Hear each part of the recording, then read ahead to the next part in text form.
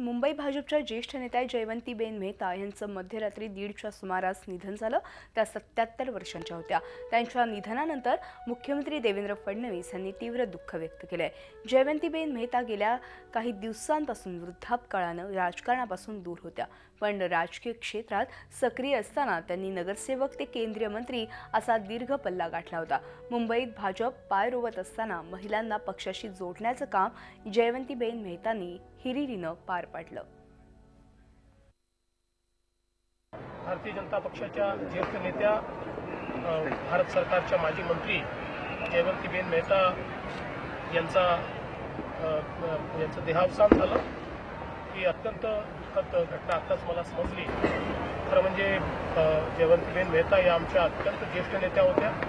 या मुंबईमध्ये खऱ्या अर्थानं महिलांना संघटनेशी आणि समाजकारणाशी जोडण्याचं काम हे जयवंतीबेन यांनी केलं.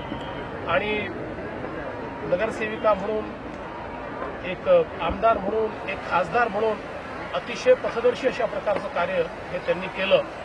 अतिशय मातृतुल्य प्रेम हे कार्यकर्त्यांना जयवंतीबेन यांनी नेहमीच या ठिकाणी दिलं. आणि अशा जयवंतीबेन आमच्यातनं निघून गेल्या.